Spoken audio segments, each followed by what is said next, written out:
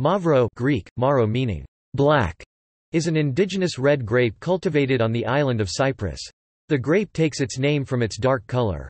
The Italian ampelographer, Count Giuseppe di Rovasenda refers to it in 1877 as Cipro Nero Cyprus black. An ancient variety, its suitability to the hot Cypriot climate has made it the dominant cultivated vine on the island. It accounts for 70% of cultivated vines. Of note is that Mavro continues to grow on ancient rootstock unlike most mainland European grapes that are grafted on North American rootstock. This is a consequence of Cyprus' escape from the phylloxera epidemic that had devastated most other European vineyards. In the 19th century, Mavrud is a Bulgarian wine with a similar name made from Mavrud grapes.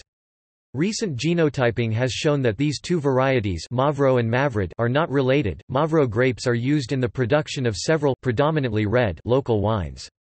Most notably however, Mavro is blended with the Xynisteri grape for the production of Commandaria, a well-known Cypriot dessert wine.